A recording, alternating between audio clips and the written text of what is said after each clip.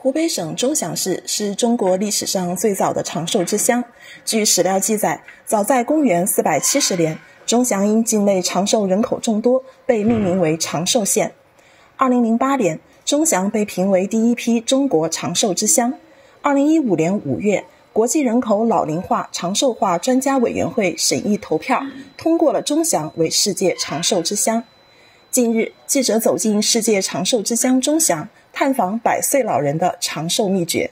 叫齐兰齐兰英，出生是二二年的三月十一，一百零两岁。嗯，现在起床都早早，嗯，可以五点钟起来弄啊洗的，我，都满点扫啊、漱啊，呃，弄一天了，都忙完哈了，都到院子弄点菜啊，都搞院子的生菜、莴笋。呃，现在都是都这里菜了。居住于杨集村七组的居兰英老人，如今已五代同堂，大家族一共七十二人。老人最大的女儿八十一岁，最小的玄孙两岁。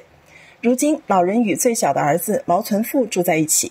在儿子眼中，母亲性格开朗，待人和善，很少为琐事恼怒生气，常教导子女要和气待人。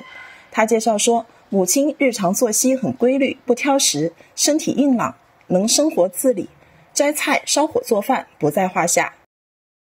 性格啊，性格非常平稳，哎，温和的老人。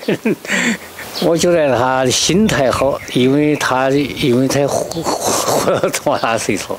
如果心态如果是执行着的话，就不行。截至二零二二年十二月，周祥市一百周岁以上长寿老人达到一百一十八人。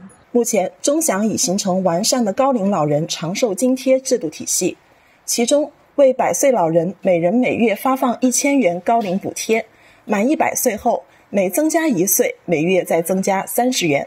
市里的人民医院定期为老人体检，村医每个月都会上门检查基础疾病。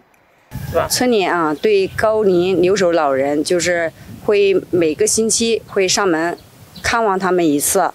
呃，逢到那个下雨天还有极端天气的时候，就会提前通过天气预报提前，然后来关爱老人，看老人的房屋有没有安全隐患。